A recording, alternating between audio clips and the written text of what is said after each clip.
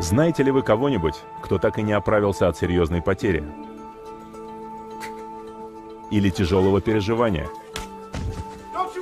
И в вашей обычной жизни вы когда-нибудь сомневаетесь в себе? Расстраиваетесь? Беспричинно боитесь? Или ведете себя нерационально? Болезненные события нашего прошлого явно влияют на наше поведение. Но как и почему? Что же заставляет разум мыслить и действовать нерационально? Именно этому посвящена Дианетика. Каждое мгновение жизни ваш разум записывает все, что происходит с вами. Каждый вид, каждый звук, каждый вкус, запах, боль, эмоцию, прикосновение. Все.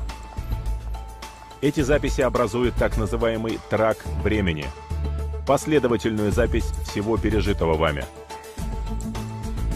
Ваш разум использует эти данные, чтобы решать проблемы, относящиеся к вашему выживанию. Чем лучше его решение, тем лучше вы выживаете. В основном эти данные хранятся в аналитическом уме, той части вашего разума, которая мыслит, помнит и рассчитывает. Но некоторые из ваших переживаний не попадают в аналитический банк памяти. В Дианетике было открыто, что все ваши болезненные переживания хранятся в ранее неизвестной части разума, в реактивном уме.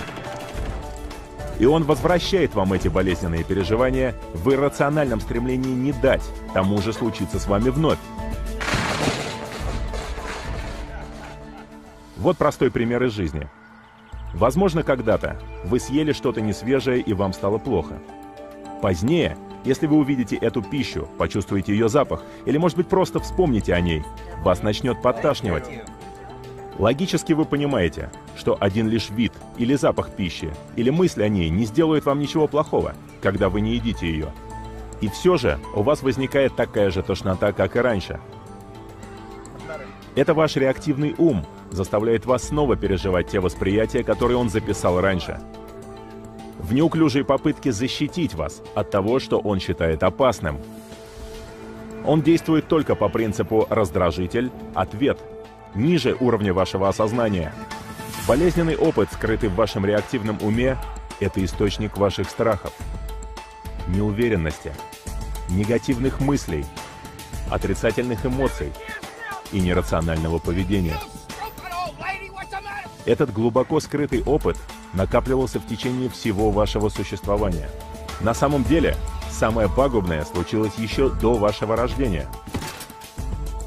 Как бы вы жили, если бы вся ваша прошлая боль больше не влияла на ваши способности, эмоции и действия?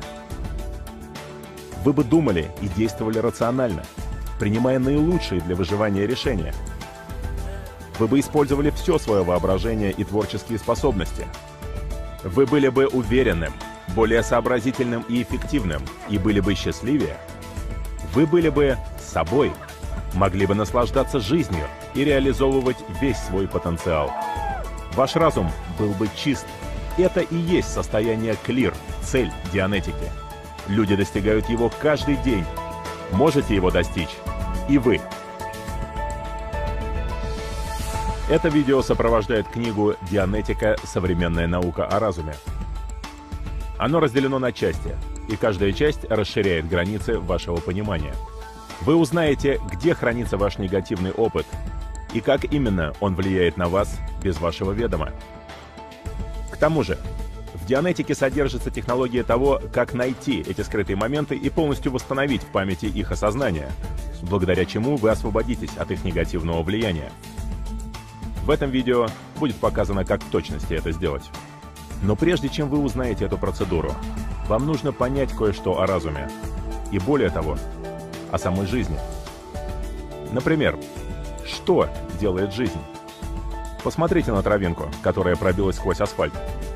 Что она делает? И как это относится ко всему живому, в том числе к вам? Скоро вы об этом узнаете.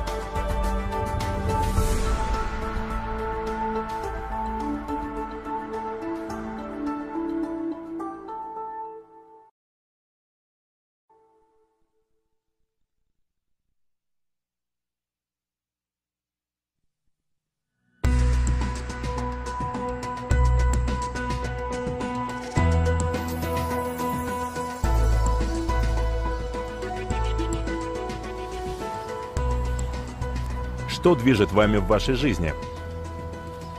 Иначе говоря, чем продиктованы ваши действия и решения? Что вы в конечном счете пытаетесь сделать?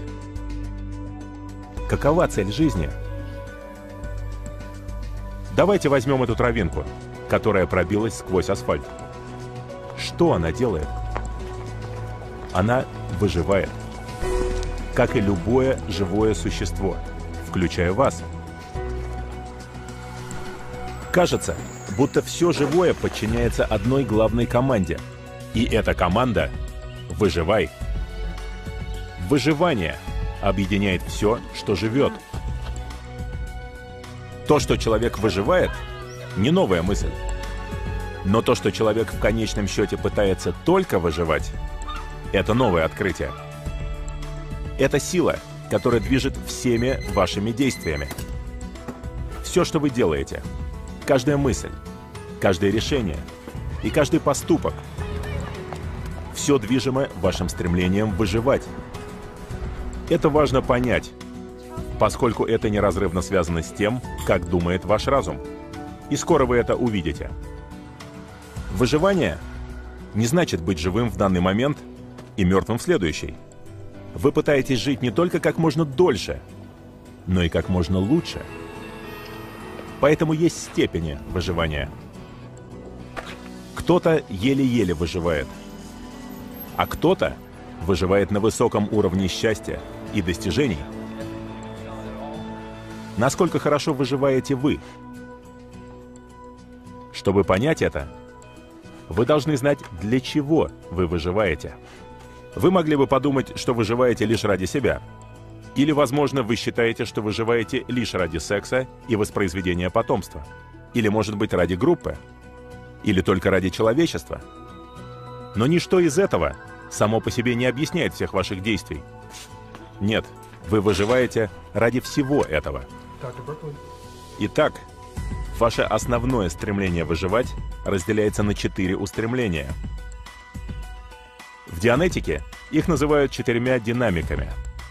Динамика — это стремление выживать, двигаясь по определенному курсу. Например, первая динамика — это ваше стремление достичь наивысшего потенциала выживания для себя. Это включает пищу, одежду, кров, личные устремления и ваши цели — Вторая динамика – ваше стремление к потенциальному бессмертию в детях. Она включает в себя секс, а также рождение и воспитание детей. Третья динамика – ваше стремление к выживанию посредством групп, в качестве члена группы или к выживанию самой группы. Это и группа, в которой вы работаете, и клубы и команды, в которых вы числитесь. Даже ваша страна – это группа. Четвертая динамика — это стремление к выживанию для человечества и стремление всего человечества выживать. Если вы действуете оптимально, вы стремитесь выживать как можно лучше по всем вашим четырем динамикам. Но если вы не выживаете хорошо в одной или более из этих областей жизни, то вы не будете хорошо выживать в целом. Вам нужна сильная динамика, чтобы преодолевать жизненные препятствия на пути к счастью и успеху. И вам нужны рациональные решения проблем, грозящих уменьшить ваш потенциал выживания. Если бы вы действовали на самом оптимальном уровне, ваша динамика была бы очень сильна. Тот, кто избавлен от влияния реактивного ума, действует именно так – его решение проблем рациональное и выживательное, поскольку ничто не нарушает его расчетов. Но когда реактивный ум вводит в расчеты нерациональные данные, возникают нерациональные мысли и решения. И вы обнаруживаете, что ваше поведение вредит одной или всем вашим динамикам. Таким образом, ваше стремление выживать в конечном счете вредит вашему выживанию. Это потому, что ваш реактивный ум думает совсем не так, как аналитический. На самом деле есть три вида мышления. Как вы скоро увидите.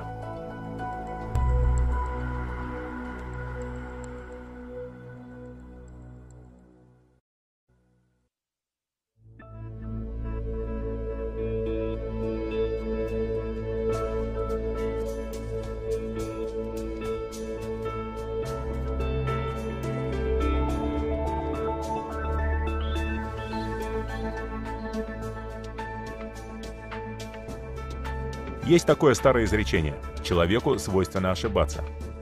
Но на самом деле это не так. Ведь та часть разума, которая анализирует информацию, чтобы решать проблемы, ошибаться не может. Представьте, что аналитический ум — это компьютер. Но это не просто компьютер. Это компьютер безупречный.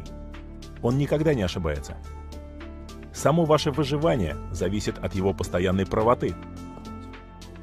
Но его решение не лучше тех данных, которые он использует в расчетах. Когда реактивный ум вводит в расчеты скрытые, нерациональные данные, вы мыслите или реагируете нерационально, аберрированно. Слово «аберрация» означает отклонение от рационального мышления или поведения. По сути, оно означает ошибаться.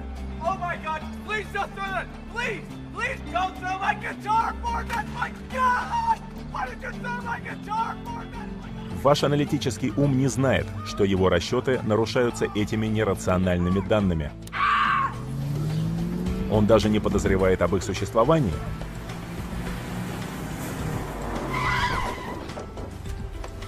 Это потому, что в моменты вашей жизни, содержащие боль, аналитический ум отключается в попытке защитить себя, как и любой чувствительный прибор.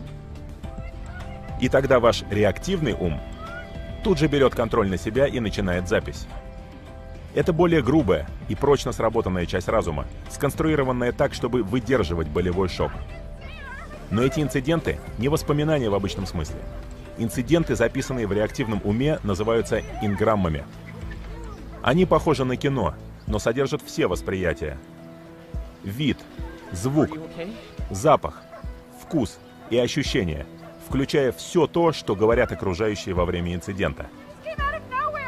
Инграмма — это полная, вплоть до мельчайших подробностей, запись каждого ощущения, присутствовавшего в момент боли и бессознательности.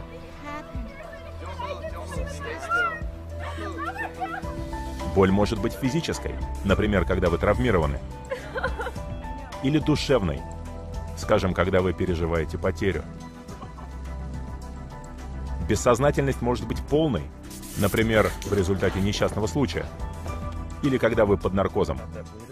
Или же ваша способность осознавать может быть просто ослаблена, например, когда вы больны, травмированы, или когда ваше тело отравлено, скажем, алкоголем или наркотиками. Рассмотрим вновь пример с отравлением несвежей пищей. Это инграмма. Когда позже вы оказываетесь в ситуации чем-то похожей на инграмму, хранящуюся в вашем реактивном уме, он стремится не дать тому же болезненному происшествию случиться с вами вновь.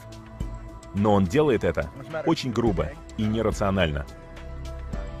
Это потому, что ваш реактивный ум думает не так же, как аналитический. Ваш аналитический ум мыслит рационально. Он сравнивает вещи и видит различия между ними. Скажем, если бы вас попросили рассортировать эти фигуры по форме и цвету, у вашего аналитического ума не возникло бы проблем. Это потому, что он видит различия между ними. Он мыслит различиями.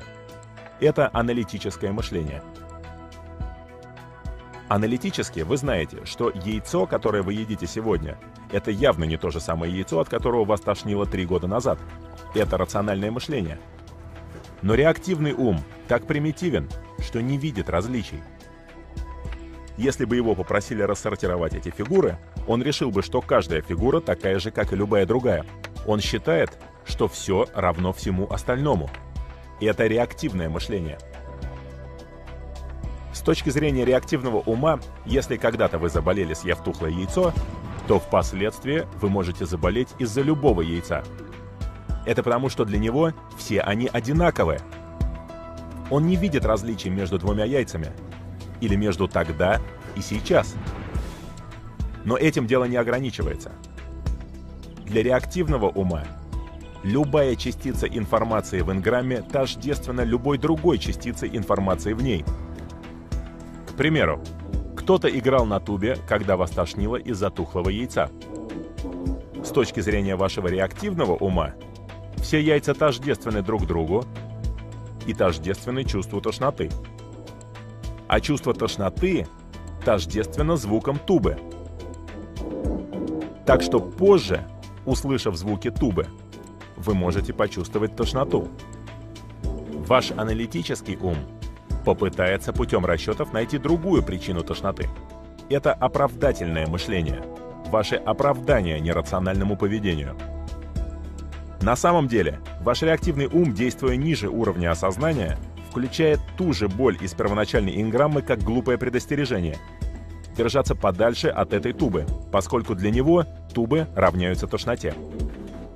В дианетике такой тип мышления получил название «что угодно», равно «что угодно», равно «что угодно», или просто А равно А равно А. У существ на низших уровнях развития это реактивное поведение отчасти выживательно. Когда рыбка получает повреждения, ее реактивный ум записывает все восприятия, связанные с этим. И потом, всякий раз, когда они появляются в окружении, он заставляет ее уплыть прочь. Однако, что касается человека, этот механизм выживания давно изжил себя, но он все еще существует. Что если он нерационально предостерегает вас не только насчет яиц? Что если речь идет о том, кого вы знаете? Или о том, что вы делаете? Или о том, чего вы стремитесь достичь? Ваш реактивный ум работает исключительно по принципу раздражитель-ответ – он стремится помочь вашему выживанию, однако его грубые ошибки на самом деле подавляют ваши усилия выживать.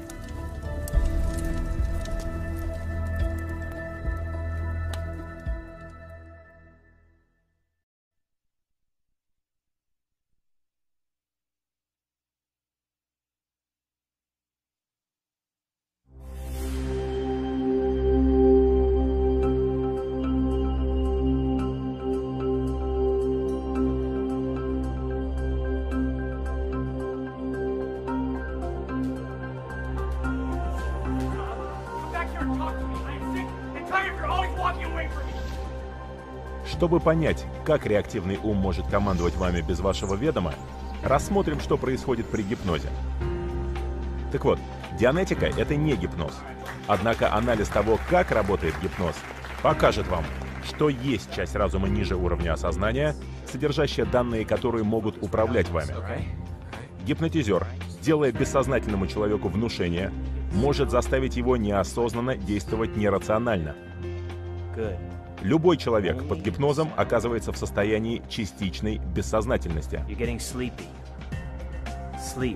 После этого гипнотизер закладывает команду, которая позднее контролирует мысли или поведение человека. Человек не знает о ее существовании, но что-то, что он видит или слышит позже, будет активизировать ее без его ведома. My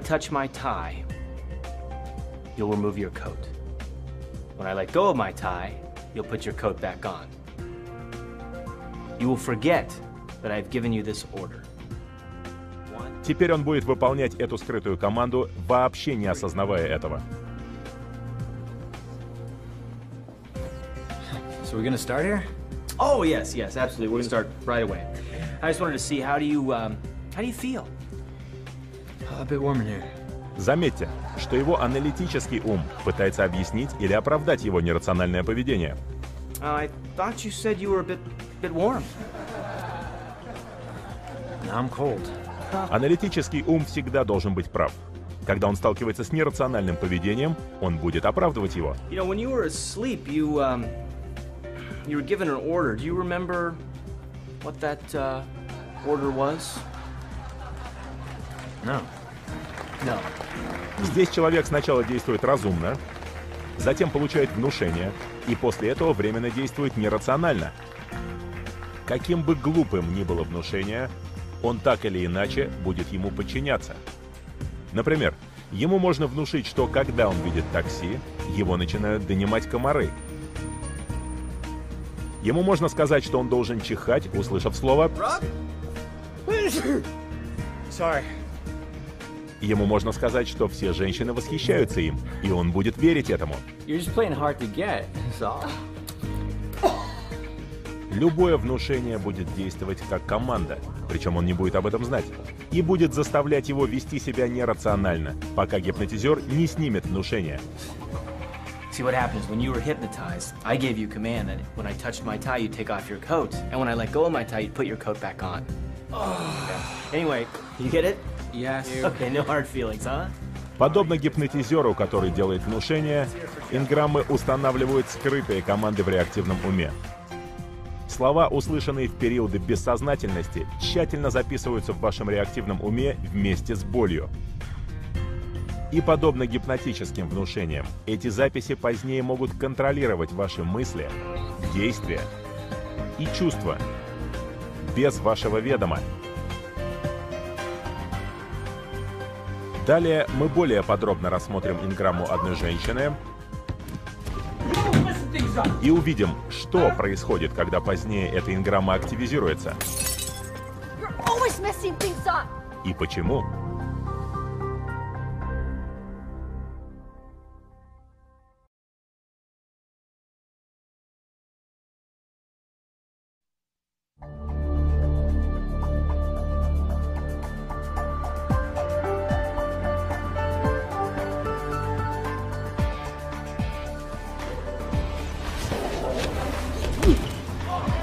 В инграмме содержится многое.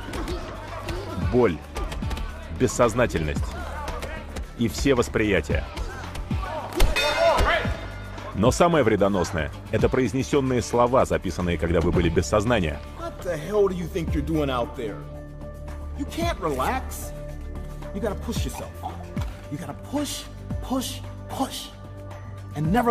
Подобно гипнотическим внушениям, эти записи могут быть активизированы чем-то в окружающей обстановке и заставить вас мыслить и действовать нерационально.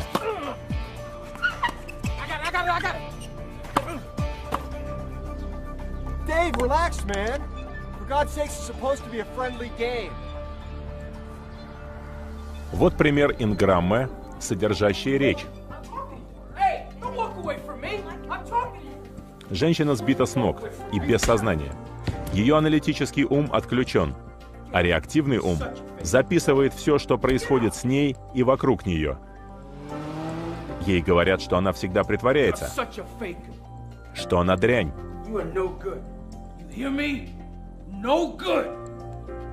что она всегда все портит, и что она всегда меняет свое мнение. Эта инграмма содержит непрерывную запись всех восприятий. Вдобавок к произнесенным словам она содержит звук и боль от пинка, ощущение пола, звук падения стула и звуки падающих предметов, звук проезжающего мотоцикла. И шум воды, текущей из крана в ванной, а также запах мужчины, ударившего ее, и тон, и эмоцию его голоса.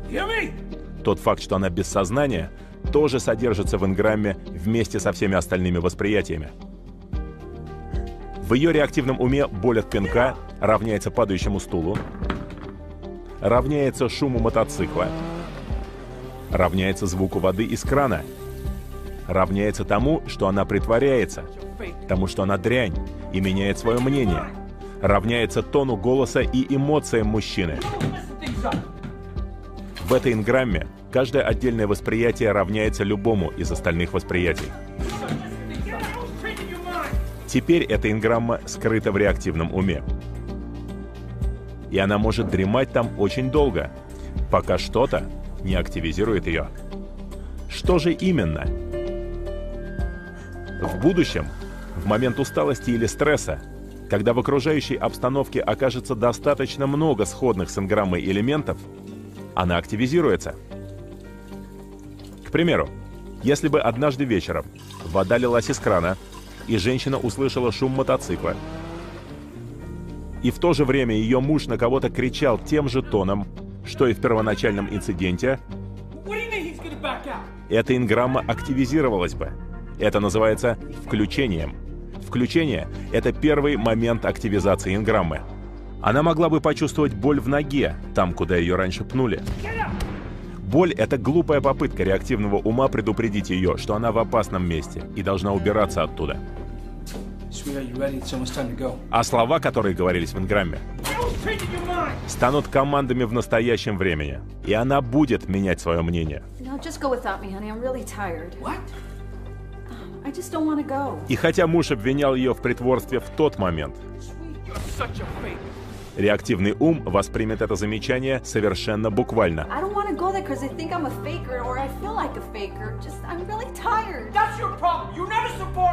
Эта женщина думает, что такое решение подсказал рассудок.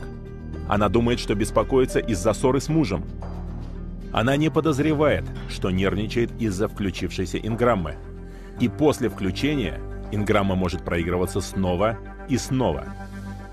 Например, позднее, когда эта женщина устала или испытывает стресс, она слышит, как мужчина кричит на кого-то, а по улице едет мотоцикл. Это рестимуляторы. Вещи в окружении, достаточно схожие с теми, что есть в инграмме, чтобы вызвать ее повторную активизацию или рестимуляцию. Женщина начинает нервничать, но не знает почему. Когда ее сын роняет вазу, она начинает проигрывать эту инграмму.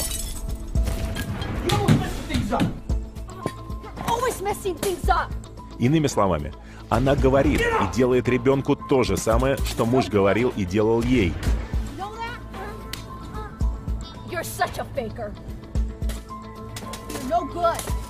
Такое поведение называется драматизацией. Драматизация — это проигрывание в настоящем времени чего-то, что случилось в прошлом. Инграмма — это просто запись, похожая на грамм-пластинку. Shut the hell up. I don't want to hear another word out of you. Вы ее не слышите, пока кто-то ее не поставит. Когда инграмма рестимулируется, реактивный ум просто проигрывает запись. И вы можете действовать точно так, как и люди в этой инграмме. you. Just shut the hell up.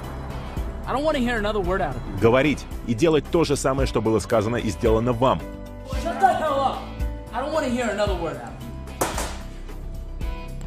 Но слова — это не единственное, что записывается в инграмме. Помимо прочего, в ней есть ощущение боли. В конце концов, вы были травмированы или больны, когда ее получили. Если уж слова в инграмме драматизируются, как по-вашему, что происходит, когда проигрывается запись этой боли?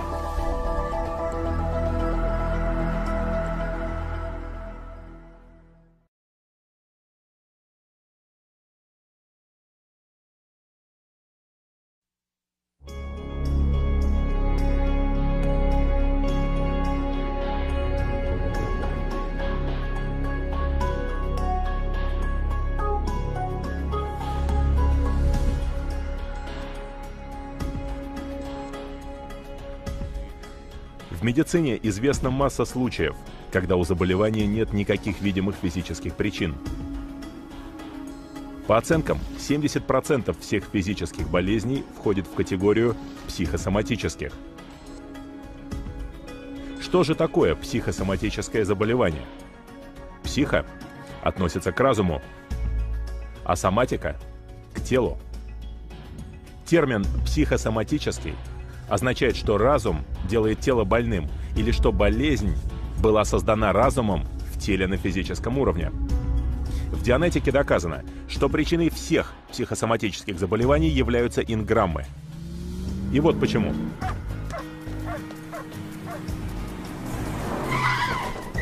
Это инграмма, содержащая физическую боль. Травма руки. Боль в руке записывается в реактивном уме вместе со всеми остальными восприятиями в инциденте.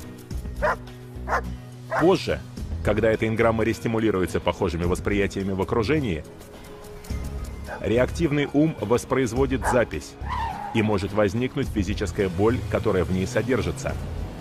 В дианетике мы говорим, что включилась соматика. Слово «соматика» обозначает любое ощущение, боль или физическое состояние, возникшее из-за инграмм. Когда включается соматика, часть тела, которая была травмирована или больна, когда была получена инграмма, снова становится в какой-то мере больной. Сколько же видов психосоматических заболеваний у вас может быть? Отчасти это зависит от всех ваших прежних болезней и травм. А отчасти от того, сколько состояний может породить ваше тело под воздействием слов и фраз в инграммах. Понимаете, речь, записанная в инграмме, может оказать очень пагубное влияние на тело, так же, как и на разум. Например, девочка упала в бассейн. В суматохе кто-то возле нее кричит. Теперь эта фраза хранится в ее реактивном уме. Реактивный ум интерпретирует слова в своих командах совершенно буквально. Неважно, что они значили, когда были произнесены. Так что даже став взрослой, эта девушка страдает астмой, поскольку ее реактивный ум буквально говорит ее телу, что она не может дышать. Так реактивный ум делает тело больным. Подумайте, сколько существует комбинаций слов, и вы сможете представить, сколько вреда могут причинить эти команды. Они могут изменить ваши ощущения, заставить вас чувствовать себя больным или даже не давать вам выздороветь. Вот почему многие распространенные проблемы со здоровьем, такие как аллергия, язва, артрит, высокое давление, мигрень, хронические заболевания кожи и странные боли, как оказывается, вызваны вредным влиянием инграмм. Так вот, если у вас было относительно мало несчастных случаев, вы, возможно, думаете, что у вас немного инграмм. Но на самом деле источником большинства инграмм, причем самых вредоносных, является период вашей жизни, который вы, вероятно, не помните, как вы сейчас увидите.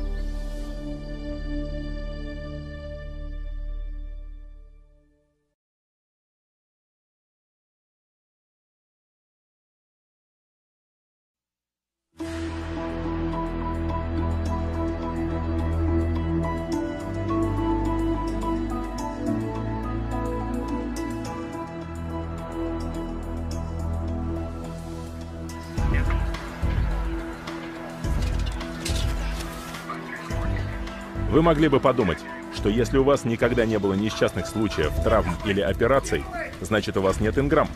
Будь это правдой, это было бы прекрасно. Но, к несчастью, это не так. То, что вы не знаете об этих инцидентах, еще не значит, что их нет. На самом деле в дианетике доказано, что человек получает большинство инграмм до того, как ему исполнится два года. Само рождение — это инграмма, и очевидно, что она есть у всех. Но удивительно то, как много инграмм записывается до рождения. Как такое возможно? Инграммы — это не воспоминания в обычном смысле, это записи. В дианетике выдвинуто предположение, что инграммы, вероятно, записываются в самих клетках. В конце концов, травмируются именно клетки. Само слово «инграмма» — это медицинский термин, который означает «остающийся надолго след на клетке». Дело в том, что нас интересует лишь то, что работает. А эта теория работает. Когда клетки делятся, они передают новым клеткам записи всех инграмм, которые они получили, включая те, что были получены на самых ранних этапах жизни. Видите ли, еще нерожденный ребенок не защищен скелетом, а в утробе очень тесно. Поэтому, когда что-то бьет по нему или слишком сильно давит на него, его клетки и органы с легкостью травмируются и записывается пренатальная инграмма. Например, если мама ударяется обо что-то, ребенок впадает в бессознательность. Если мама чихает, ребенка сдавливает. Если папу охватывает страсть, ребенок чувствует себя как во включенной стиральной машине. Когда у мамы утренняя тошнота, ребенок получает инграмму. И так далее. Как видите, у вас может быть много пренатальных инграмм, и каждая может вызвать аберрацию. Bed. В пренатальной инграмме, как и в любой другой, записываются все восприятия, включая всю боль, все звуки, эмоции присутствующих и все, что они говорят. То, что еще нерожденный ребенок не понимает смысла этих слов, ничего не значит. Инграмма — это просто ряд отпечатков на клетках его тела. Когда ребенок вырастет, то всякий раз, когда эта инграмма рестимулируется, эта запись будет воспроизведена, и он наверняка поймет смысл этих записанных слов. You okay? If we don't get the account, it won't be because we didn't give it our best shot. No, it'll be my fault. It is always my fault. I can't win. Конечно, он даже не подозревает о существовании этой инграммы, поэтому он оправдывает свое поведение. Как видите, ваши операции вызваны не столько тем, что сделали вы, сколько тем, что сделано вам. И по большей части это произошло до вашего рождения.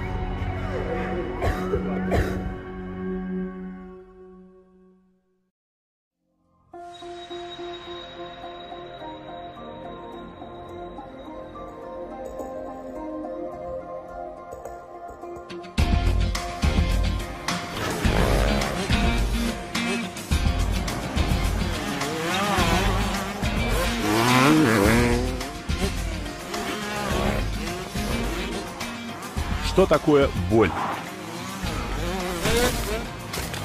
Боль – это предупредительный сигнал о том, что с вами происходит нечто вредящее вашему выживанию. Боль говорит вам отдернуть руку от горячей сковородки. Или сообщает, что с коленом что-то совсем не в порядке. Боль – это наказание за ошибки при попытках выживать.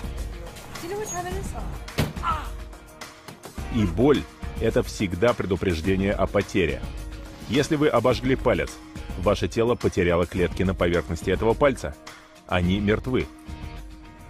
Потеря кого-то или чего-то важного для вашего выживания тоже причиняет боль. Вы испытываете душевную боль. И эта душевная боль вызывает бессознательность, как если бы вас ударили дубинкой по голове. Внезапное потрясение из-за потери, например, смерти любимого человека, это вид бессознательности, которая снижает ваши аналитические способности. That your husband was killed in action this July 13th. Аналитический ум отключается в какой-то степени и записывается инграмма болезненных эмоций. Инграммы болезненных эмоций вызваны внезапными потерями, такими как уход кого-то важного для вас, смерть домашнего любимца, потеря работы или неудача в бизнесе, или внезапная потеря собственности. После подобных потерь вы можете почувствовать, что стали менее живым. Почему? Вы живы? Значит, должна быть какая-то сила, поток чего-то, что делает вас живым. Что представляет собой эта энергия? Это сущность жизни. Назовем ее жизненной силой. Это что-то вроде горячего воздуха, которым наполнен шар. Чем больше у вас жизненной силы, тем сильнее вы стремитесь к выживанию, тем вы энергичнее и счастливее. Чем меньше ее у вас, тем менее вы живы, и тем слабее ваше стремление выживать. Куда же уходит ваша жизненная сила? Инграммы, такие как эти, захватывают вашу жизненную силу, отбирают ее у вас. Чем меньше у вас жизненной силы, тем менее свободны ваши эмоции, и вы чувствуете себя более печальным, более бесчувственным и менее живым. По мере того, как вы взрослеете и переживаете потерю за потерей, все больше вашей жизненной силы понемногу запечатывается в вашем реактивном уме. По мере уменьшения вашего энтузиазма снижается и ваш потенциал выживания. Великолепие и краски детства пропадают с годами. Но красота и восприимчивость к жизни не исчезают. Они просто пойманы в ловушку внутри вас. Высвободите эту пойманную в ловушку жизненную силу, и вы вновь ощутите живость, бодрость и энтузиазм. Так что очевидно, что есть связь между жизненной силой и вашими эмоциями. Чем больше в вашем распоряжении жизненной силы, тем вы счастливее. Как высоко могут подняться ваши эмоции? И как низко могут опуститься? Что если бы вы могли нанести свои эмоции на шкалу? Каким оказалось бы ваше положение на такой шкале? Что ж, скоро вы это узнаете.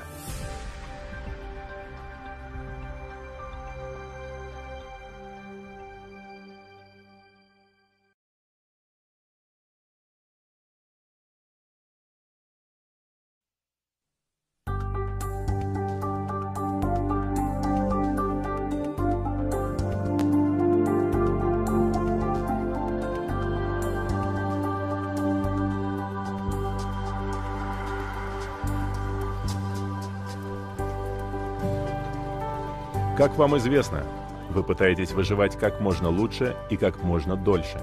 И задача вашего разума – обеспечить, чтобы вы достигли этой цели. Если вы ошибаетесь, и это угрожает вашему выживанию, вас наказывает боль. Таким образом, ваш разум побуждает вас избегать боли. Ваш аналитический ум делает это рационально. Ваш реактивный ум делает это нерационально. Если боль — это наказание за неудачу, каково же вознаграждение за успех? Удовольствие. Подобно тому, как что-то толкает вас прочь от боли, какая-то сила толкает вас к удовольствию. Удовольствие абсолютно необходимо для вашего выживания. Оно также нужно для жизни, как и бьющееся сердце. Удовольствие — это вознаграждение за движение к целям, способствующим выживанию и за их достижение. Чем больше препятствий вы преодолеваете на пути к своим целям, тем вы счастливее и тем лучше выживаете. На этой схеме ваше стремление к выживанию изображено стрелкой, которая направлена от боли к удовольствию. Мы называем это побуждение динамикой выживания.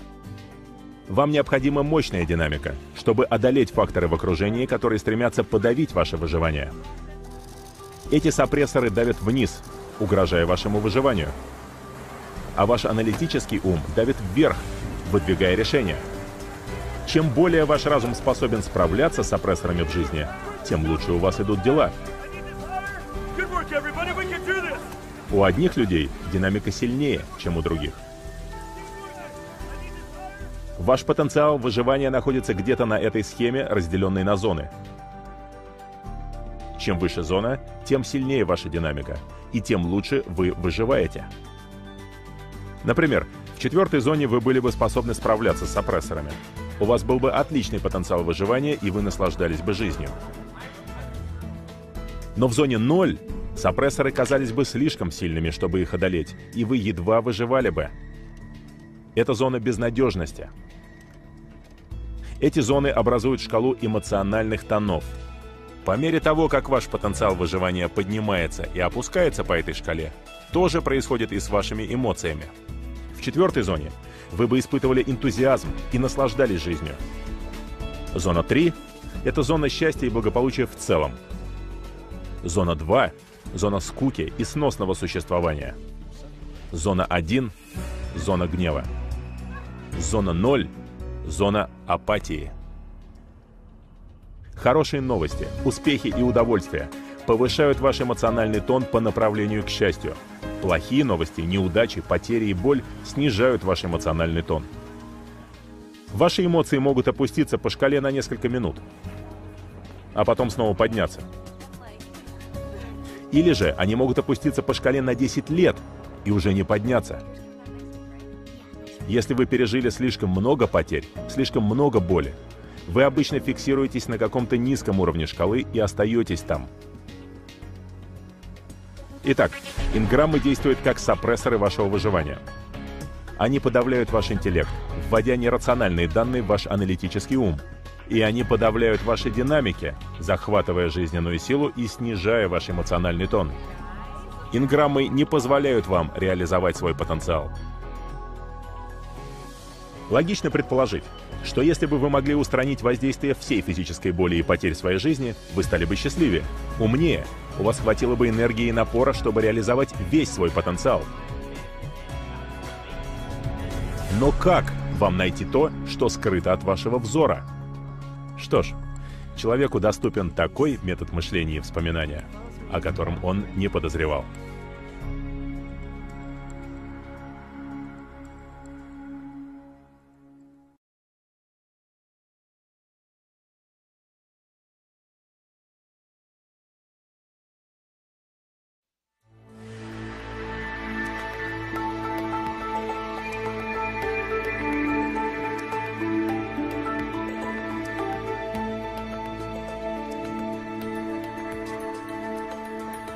Помощью дианетики вы найдете и устраните инграммы, скрытые в вашем реактивном уме, чтобы они больше не влияли на вас. Но чтобы понять, как это сделать, давайте повнимательнее рассмотрим, как хранятся эти инциденты. Вы знаете, что каждое мгновение жизни ваш разум записывает все, что с вами происходит. Моменты, когда записывает ваш аналитический ум, плюс моменты, когда записывает ваш реактивный ум, образуют полную последовательность событий вашей жизни. Последовательная запись вашего прошлого называется траком времени. Трак времени — это система хранения всего вашего опыта в соответствии со временем, когда он был получен, от начала вашего существования до настоящего времени, включая те инциденты, которых вы не осознаете. Понимаете, когда вы получаете инграмму, аналитический ум отключается физической болью и эмоцией. А поскольку он отключен, он не знает, что поступают инграммные данные. Поэтому вы не осознаете, что эти данные существуют. Когда инграмма рестимулируется, часть вашей аналитической способности отключается. Так диктуют команды инграммы.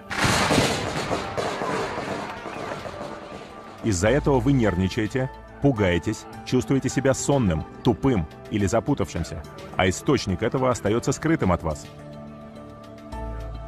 Но в Дианетике было открыто, что вас можно отправить назад в бодрствующем состоянии к любому событию на траке времени, и вы сможете рассмотреть все, что было тогда записано. Это не память, при помощи которой вы вспоминаете что-то. Это нечто иное. Например, когда-то вы выиграли заплыв. Вы могли бы просто вспомнить о том, что вы его выиграли. Это вспоминание. Или же вы могли бы сосредоточиться – и снова увидеть бассейн и других пловцов. Вы могли бы услышать все звуки, почувствовать давление очков на лицо и запах воды в бассейне. Вы могли бы ощутить плотность и температуру воды, ритм и движение вашего тела, частое биение сердца, боль в плечах и эмоции от победы.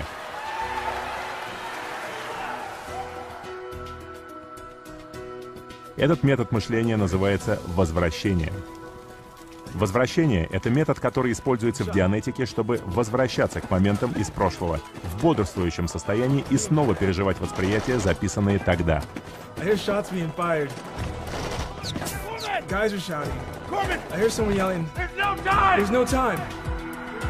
Чтобы сделать это, вы садитесь на удобный стул, а ваш друг выполняет роль аудитора — Слово «аудитор» означает «тот, кто слушает и рассчитывает».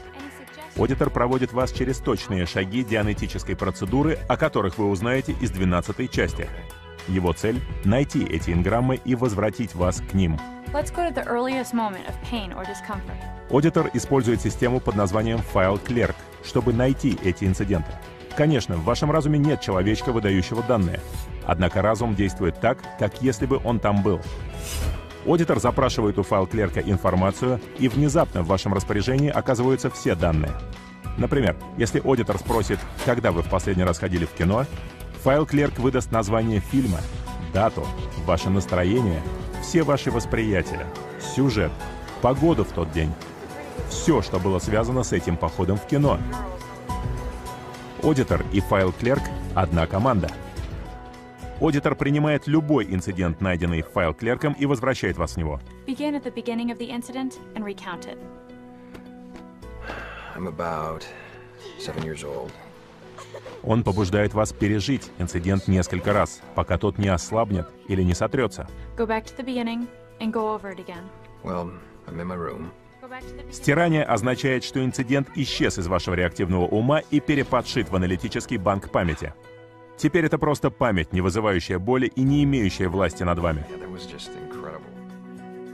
Возможно, вы думаете, что можете возвратиться в инцидент самостоятельно, но это не так.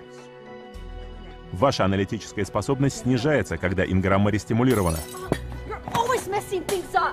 Она также отчасти снижается, когда вы возвращены в эту инграмму в одитинге. Ваши речи, действия могут быть измененным вариантом инграммы и вы можете испытывать те же эмоции, что и в инграмме.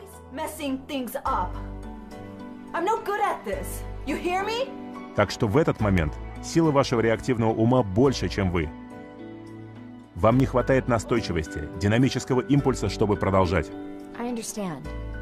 Но на аудитора не действуют ваши инграммы. Он располагает всей своей аналитической способностью и сильным динамическим импульсом.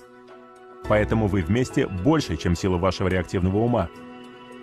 Когда вы объединяете усилия, он выдает свои запасы инграмм. Когда весь болезненный опыт будет устранен из вашего реактивного ума, ваши операции исчезнут. Вы вновь ощутите энергичность, энтузиазм в жизни и будете выживать на очень высоком уровне по всем динамикам. Вы станете воплощением всего лучшего, что в вас есть. Рациональным, уверенным, более умным, созидательным и продуктивным. Человек должен наслаждаться жизнью. И тот, кто избавлен от энграмм, будет наслаждаться ею максимально. Такова цель Дианетики. Но чтобы достичь этой цели, вам нужно понимать, как работает аудитинг.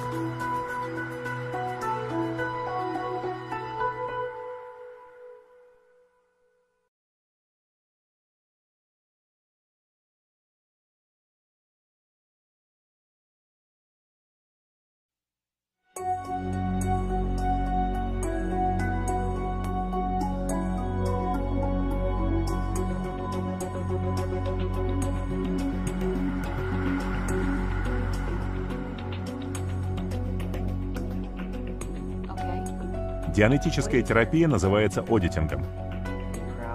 Процедура, используемая в одитинге, позволяет вам установить контакт со скрытыми моментами боли и устранить их вредное влияние на вас. Всю терапию проводят, перемещая вас по вашему траку времени. Все, что вы когда-либо испытали, размещено на нем последовательно, в хронологическом порядке. И хотя кажется, будто моментов боли и бессознательности нет на вашем траке, они там есть, и их можно найти. На самом деле эти инграммные моменты соединяются друг с другом в вашем реактивном уме, и эта связь помогает вам найти их. В действительности, инграммы образуют цепи инцидентов, в которых есть что-то общее. Скажем, когда-то вас сбил велосипедист, а несколько лет назад вы неудачно упали с мотоцикла – а давно, в детстве, вы получили травму, упав с велосипеда.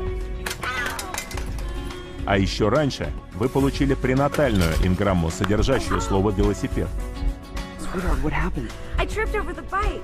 В вашем реактивном уме эти инграммы образуют цепь, ряд инцидентов, в которых содержатся велосипеды и мотоциклы. Все инграммы также содержат вредную энергию или силу, называемую зарядом, Именно этот заряд боли или эмоций наделяет инграмму силой и властью над вами. Когда инциденты образуют цепь, поздние инциденты содержат собственный заряд, а также силу всех более ранних инцидентов на этой цепи. Иначе говоря, более поздние инциденты получают свою силу от более ранних. Одитинг устраняет заряд из этих инцидентов.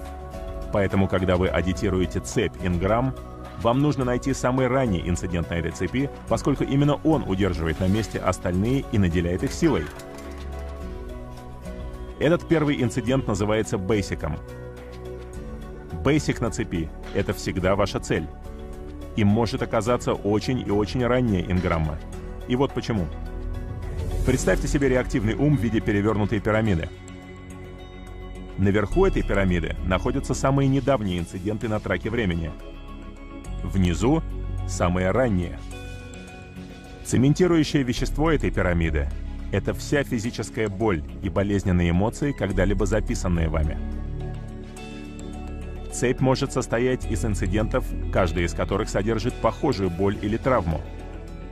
Или в них может быть один и тот же человек, или то же слово или фраза, или похожий запах, или похожие звуки или голоса и так далее.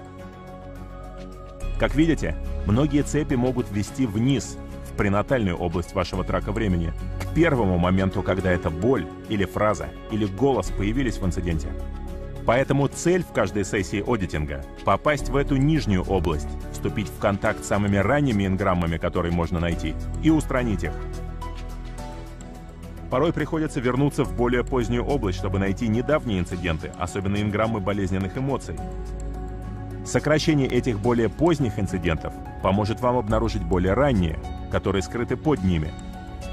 К тому же эти моменты потерь содержат в себе захваченную жизненную силу. Высвобождение этого заряда ослабляет реактивный ум и повышает вашу способность находить инграммы, да и вообще жить. На самом деле, очень важно высвобождать эмоциональный заряд из моментов потерь. И когда большая часть этого эмоционального заряда устранена из вашего реактивного ума, вы достигаете состояния релиз. Дианетический релиз — это человек, который избавился от своих наиболее серьезных беспокойств и болезней. В самом низу пирамиды находится самый ранний момент боли и бессознательности. Он называется Basic Basicом. Это первая инграмма на первой цепи инграмм. И эту инграмму нужно найти, если вы хотите стать клиром. Когда Basic Basic стерт, находить и стирать остальные инграммы гораздо легче. На самом деле эти инциденты не стираются. Они просто перемещаются и оказываются подшитыми как опыт в ваших аналитических банках памяти. Иначе говоря, теперь это воспоминания, не содержащие боли и заряда, и не имеющие власти над вами. Когда вся физическая боль и все болезненные эмоции в вашей жизни будут высвобождены, реактивный ум будет очищен от инграмм. Вы вновь придете в оптимальное состояние. Вы будете собой. Вы будете клиром. И следующая часть покажет вам, как начать.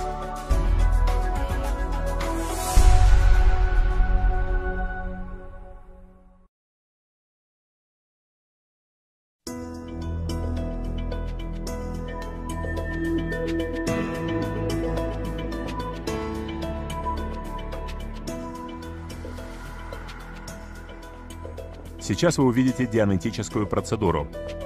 Вы с другом можете объединиться в команду и аудитировать друг друга по очереди. Это называется взаимным аудитингом. Человек, получающий аудитинг, называется приклиром, поскольку он еще не был отклирован, очищен от инграмм в его реактивном уме. Okay, are you ready to get started? Yeah. Человек, который проводит приклира через эту процедуру, называется аудитором. Вы должны стремиться быть самым лучшим аудитором. Вы будете ожидать не меньшего от того, кто будет аудитировать вас. Существует точный кодекс поведения, которому должен следовать каждый аудитор. Не просто из вежливости. Это необходимо, чтобы аудитинг работал.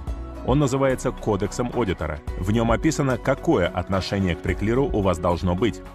Чтобы аудитинг работал, аудитор должен заслуживать доверия. Поэтому соблюдайте договоренности и приходите вовремя. И, кстати, заслуживающий доверия аудитор никогда не раскрывает секретов своего приклира. Аудитор всегда должен быть добрым, заботливым, терпеливым и настойчивым. No, I'm telling you. It can't be true. It's just my imagination. Well, what do you see? Никогда не критикуйте приклира и не сердитесь на него. Держите свои мнения при себе. You know, I think I'm tired of running this engram. I think I'd like to run the time when I got burned. I understand. There may be more in this one. Go back to the beginning. Соблюдайте кодекс аудитора. Он приведен в книге Дианетика в главе «Роль аудитора».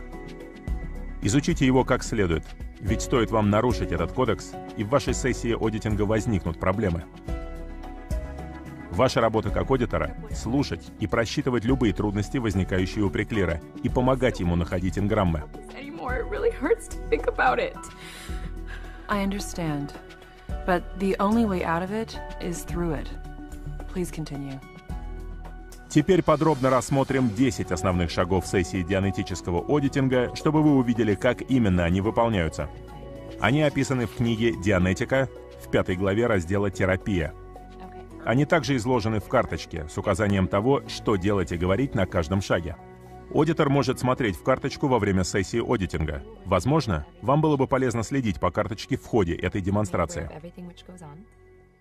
На первом шаге процедуры аудитор заверяет приклира, что тот будет осознавать все происходящее. You will remain aware of everything which goes on. You will be able to remember everything that happens here. You can pull yourself out of anything which you get into if you don't like it. Okay. На втором шаге аудитор просит приклира закрыть глаза. Благодаря этому приклир приходит в состояние легкой концентрации, называемое ревери. Приклир просто направляет свое внимание на себя и на аудитора. На третьем шаге аудитор обеспечивает, чтобы ничто из сказанного им во время сессии не рестимулировало случайно приклира и не действовало на него позже как команда. Для этого аудитор заключает с приклиром соглашение об отмене этого. In the future, when I utter the word cancelled, everything which I have said to you while you're in a therapy session will be cancelled and will have no force with you. Any suggestion I have made to you will be without force when I say the word cancelled. Do you understand? Yes. Good. На четвертом шаге аудитор возвращает приклира в какой-либо период прошлого. Скажите приклиру вернуться к самому раннему моменту боли или неудобства, с которым он может вступить в контакт. Let's go to the earliest moment of pain or discomfort. Uh. Okay, I think I got one. Good. Теперь мы подходим к пятому шагу — работе с файл-клерком для получения данных. Аудитор побуждает приклира повторно переживать инцидент от начала до конца и описывать его по мере прохождения. Скажите приклиру начать с начала инцидента и проговаривать его. Begin at the beginning and recount it. Проговаривать значит просто описывать то, что вы переживаете, повторно. I'm about seven years old. And I'm sick. I'm really sick. And out of it. Um, in my room, in bed, I'm coughing. Заметьте, что приклир описывает все так, будто это происходит прямо сейчас. Это указывает на то, что он возвращен в инцидент, а не просто вспоминает его. Когда вы хотите, чтобы приклир продолжал, говорите «продолжайте». Please continue. Mom is trying to feed me something, I don't know what. All right. Задавайте приклиру вопросы, чтобы получать данные. Такие вопросы, как «что вы видите?», «что вы слышите?», «что вы чувствуете?», «что она говорит?», позволяют удерживать его внимание на инциденте и проходить его. What do you see? She's holding a bowl and a spoon. That's all there is, that's all I'm getting. All right. На шаге 6 вы сокращаете все инграммы, с которыми установлен контакт, чтобы в них не осталось заряда. Заряд — это вредная энергия, хранящаяся в инграммах. Аудитор следит за тем, чтобы из инграммы была разряжена вся болезненная и эмоциональная энергия. Для этого он проводит приклира по инциденту много раз, пока тот не перестанет вызывать у него боль и эмоции, или пока не покажется, что он исчез. Попросите приклира вернуться в начало инцидента и снова пройти его, отмечая все дополнительные детали, которые он сможет найти. Go back to the beginning and go over it again. Pick up whatever additional data you can contact. Okay, I'm sick in bed. Um, hot and really out of it. and uh, my mom comes in. Аудитор слушает новую информацию, получаемую из инцидента. Пока появляются новые данные, инцидент сокращается, и нужно продолжать его проходить. The smell it makes me, ugh, it makes me even sicker. I don't want it. I don't know. I'm I'm hot. Приклир чувствует жар. Он повторно переживает физическое состояние, присутствующее в инграмме. Это называется соматикой. I understand. Please continue. Uh, that's it. Okay. Go back to the beginning and go over it again. Pick up whatever additional data you can contact. Well, I'm sick, and I'm huddled underneath the covers.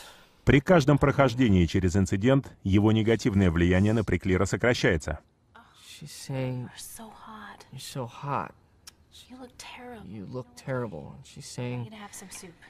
have some soup, but the soup just makes me feel sicker. Just a little. You know, to this day, I hate the smell of soup. I understand. Please continue. I tell her I'm not hungry, but she keeps saying just a bit. Um, I don't know, I'm just lying there sick in bed. Okay. What's the tactile on this? Это значит, что аудитор просит приклира описывать все, к чему прикасается его тело. I feel my covers. Okay. What do you see? Oh, I see my toys. My fish tank. Good. What do you hear? The gurgling sound of the fish tank. Okay. Please continue. Uh, that's it. I'm. I'm still kind of hot. I understand. Go back to the beginning and go over it again. Pick up whatever additional data you can contact. Okay, I'm in my room. Проводите Приклира через инцидент столько раз, сколько нужно, чтобы поднять его по тону до веселья по поводу инцидента. Когда Приклир стал оживленным и веселым при прохождении инцидента, инграмма стерта.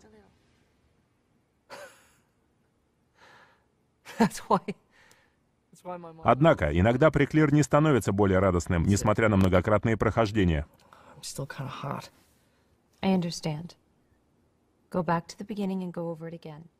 Если он не получает новых данных об инциденте, несмотря на то, что проговорил его много раз, и не становится веселее. Значит, есть более ранний, похожий момент, который нужно найти. Как вы видели, инграммы расположены цепями.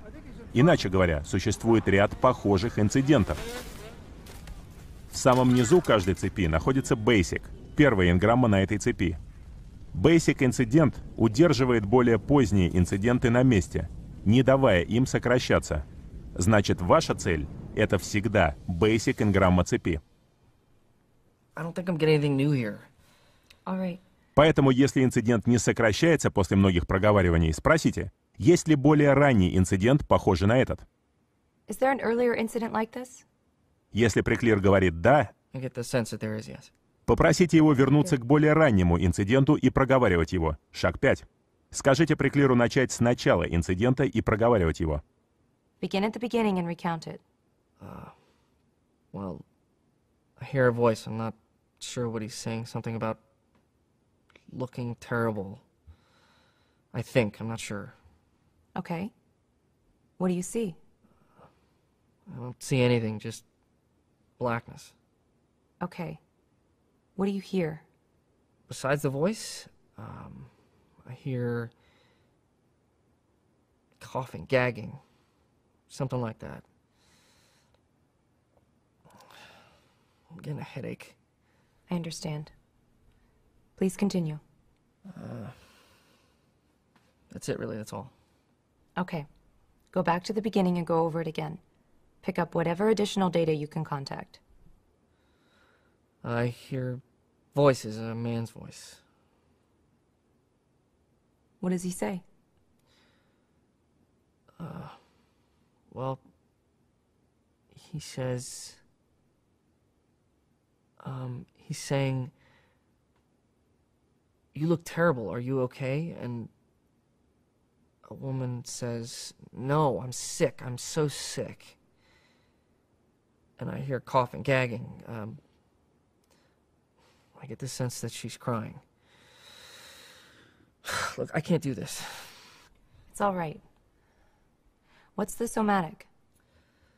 I feel pressure, like I'm being compressed. Uh, I feel pressure on my head right here. Um, but I don't see anything.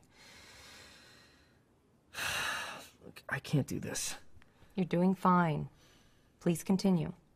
Когда с инграммой установлен контакт, приклир драматизирует ее содержимое, точно так же, как он делал, когда она рестимулировалась в жизни. Его речь и действия представляют собой видоизмененный вариант этой инграммы, поэтому просто помните, что это говорят инграммы, а не приклир. Uh, I. Важно знать, что сам приклир никогда не сопротивляется аудитингу. Единственное, что сопротивляется, это инграммы. Так что если приклир ругается, стонет, плачет или умоляет, I can't. I can't не бросайте дело, не сердитесь. Просто следуйте кодексу аудитора и продолжайте мягко, но настойчиво. What do you hear? I hear coughing, gagging. The woman. Wait, that's my mother. That's her voice. Oh, This must be a prenatal. Okay. What does she say? I can't do this.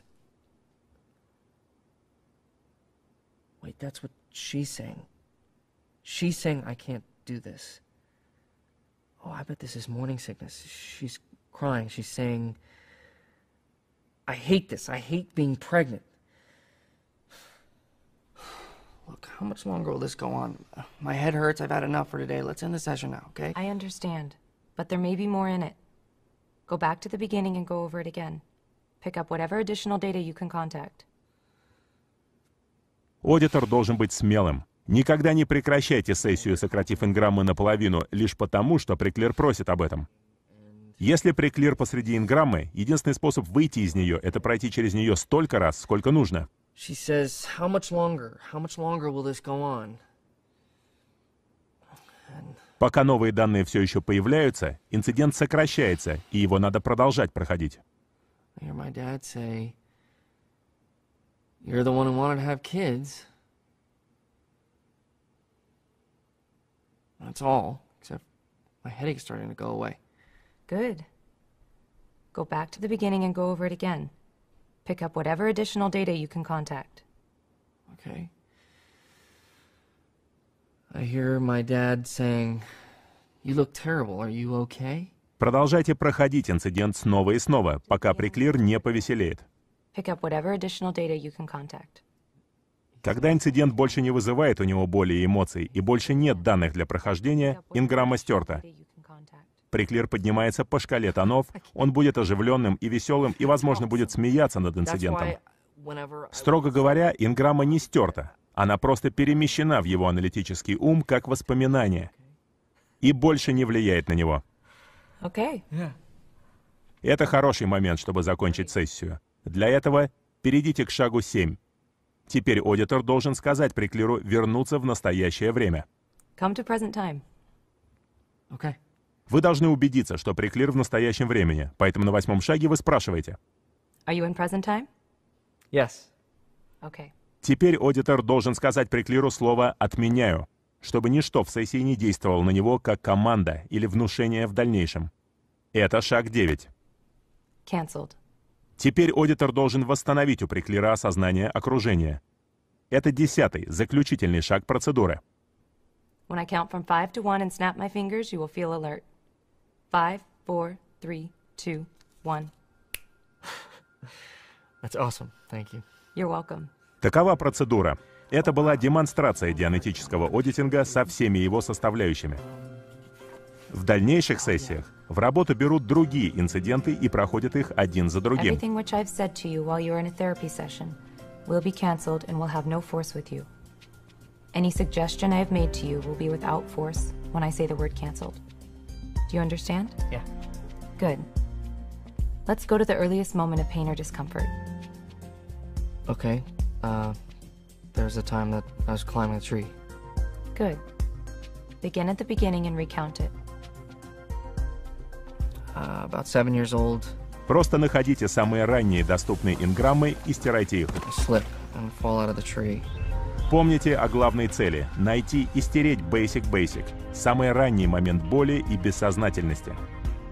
Поэтому в каждой сессии вы пытаетесь добраться до него, пока не будете уверены, что нашли его. Когда Basic Basic стерт, находить и стирать остальные инграммы будет гораздо легче. Для наилучших результатов перед дианетической сессией всегда нужно хорошо есть. Аудитор никогда не должен адитировать приклира, который плохо питается или голоден. Хорошее белковое питание поможет вашему аудитингу проходить более гладко. Также этому поможет витамин В1. Аудитинг, похоже, уменьшает количество В1 в организме, поэтому настоятельно рекомендуется принимать В1, когда вы получаете аудитинг. Кроме того, вы должны достаточно отдыхать. Аудитор не должен адитировать уставшего приклира и не должен адитировать в позднее время, когда тот обычно спит. Лекарства и алкоголь снижают вашу способность находить и проходить инграммы, затрудняя аудитинг. Поэтому не пейте алкоголь за 24 часа до аудитинга. Если переждать неделю после приема аспирина или других лекарств, то улучшится ваша способность справляться с инграммами. Всегда соблюдайте договоренности о времени и месте аудитинга и планируйте регулярные сессии. Не обязательно получать аудитинг каждый день, но желательно получать его каждые 2-3 дня. Это дает наилучшие результаты. Продвигаясь в аудитинге, вы увидите, что поднимаетесь по шкале тонов и стабильно улучшаетесь. На самом деле изменения будут заметны от недели к неделе. Когда вся боль и горе стерты, реактивный ум очищен, и вы стали клиром. Люди каждый день достигают этого состояния. Вы тоже можете его достичь.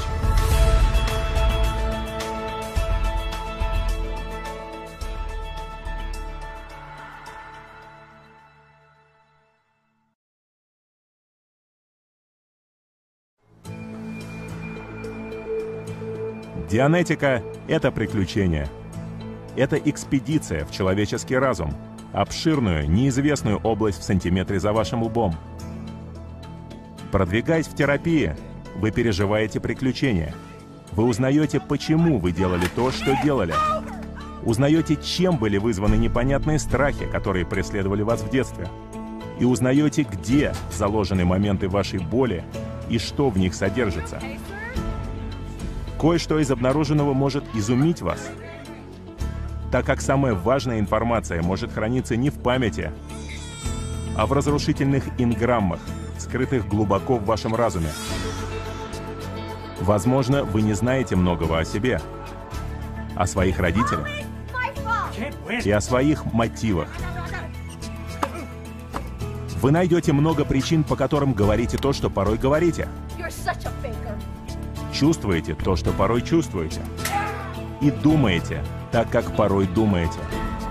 И когда вы обнаружите в прошлом фразы, которые в настоящем времени стали командами,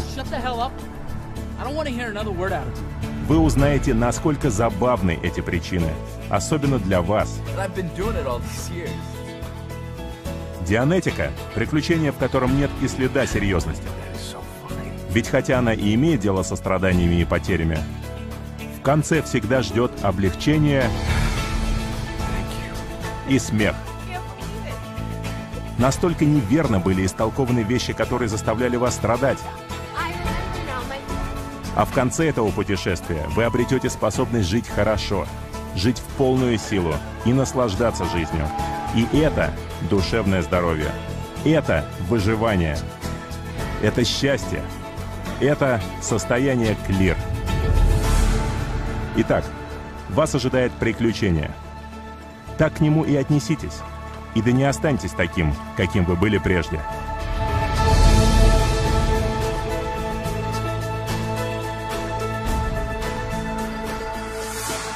I'm 45 years old, and for all of my life before I experienced Dianetics, I was looking for a way to resolve the problems that both real and imagined existed in my life and and affected me. I was actually like very introverted. I was always worried about what people thought about me. I was always going back to these emotional, irrational behaviors. I was cold, quiet, shy, always upset, just the lamest guy in the world. It was like I would have to fight in order to do something good, in order to, uh, you know, better my job, better my life and then it wouldn't stay. It would always go back. I'm having trouble with my spouse. I'm having trouble with my kids, or my kids are having trouble, and so forth and so on. Well, that's just normal. You kind of get yourself into a stage where you're like, yeah, you know, everything's actually all right. But really, it's like, it's not. And I think for me, it was just a real wake up call after having received Dianetics, just how more powerful you can be as a being. You think that you're gonna go and you're gonna get your Dianetic auditing and you're gonna run some stuff.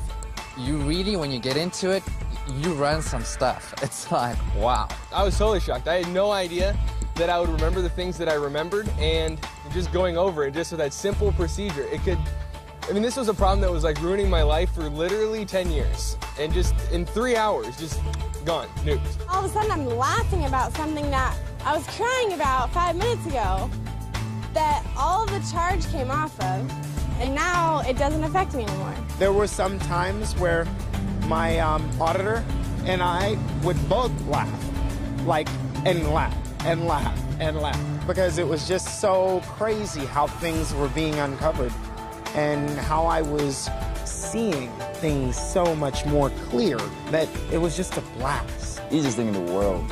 It's so much fun. I sat there, the order to give the command. I did what the order told me to do, and at the end of it, I have a smile the size of a Grand Canyon. We're walking out of session going, it can't get any better than this. It can't get any better than this.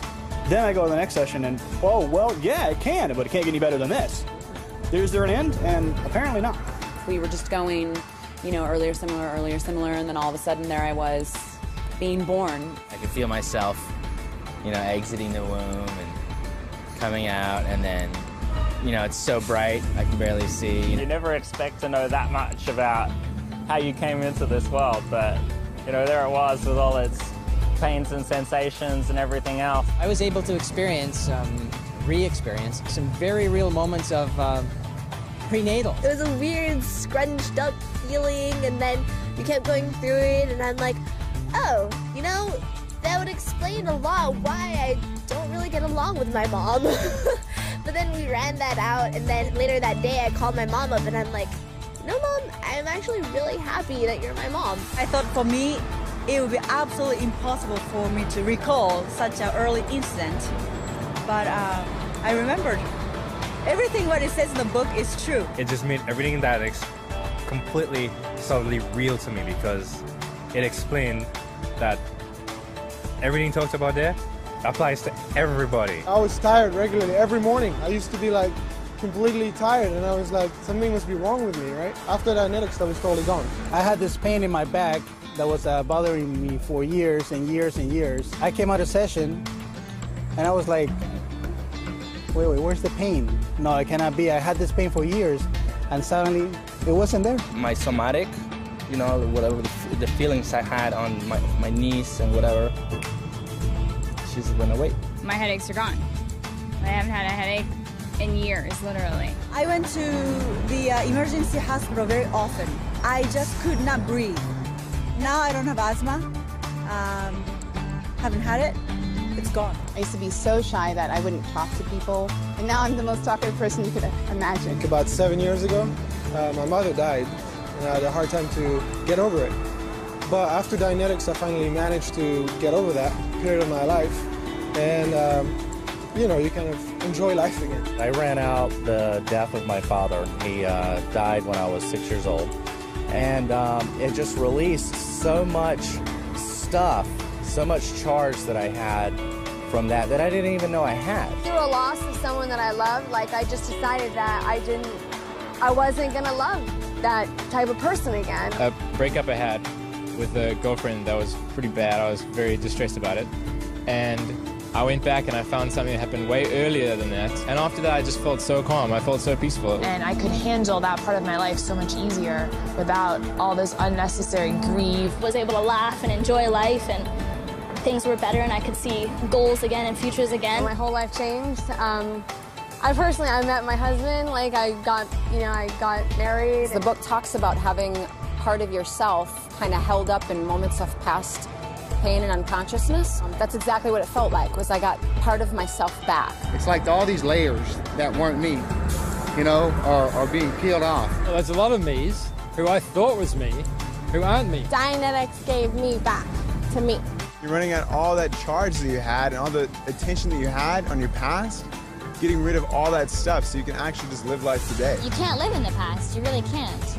And something I took away with me from Dianetics was I need to live for the future. And it really makes you able to take on the world and take on whatever comes your way. It's like full speed ahead, charge through life, you know, good, bring it on, I can handle it, you know? The biggest win is going clear. Things go right around me, you know, it just kind of works out. It's just easy. My biggest win was to become clear. I became very playful about life because things are not that serious anymore. My biggest win in Dianetics is going clear. A friend of mine and I decided that we were going to audit each other, and uh, we kind of just sat down and decided, hey, we're going to go for this. How could you build a better friendship than to have your friend clear you? He was just like totally beaming, you know, and to think that you actually had a hand in that, I almost think that I, I actually like auditing Dianetics more than receiving it. Helping someone one-on-one and watching their life change. You never think that person's going to be okay again. They've lost that family member, and then with Dynetics, they're actually themselves and happy and laughing again. They thank you They grabs your hand and say, "You saved my life. Thank you so much." Oh, and that kind of feeling to be able to give that to somebody else is worth anything in the world. It just blew my mind that it was a technology that's so simple and so amazing and can literally handle some of the most basic and fundamental things that are troubling mankind. By no stretch of the imagination, it is that thing that every single person on this planet needs. It would be cheating yourself to not get the same wins and the same benefits and the same realizations about yourself and other people. Why would somebody not do it? Because they haven't tried. Once they try it, let's go. You literally would say, oh my God, every single moment of the way. And it is the most radical journey you could ever go on. And I tell you what, if you treat it like an adventure, you will never be the same again, that's for sure.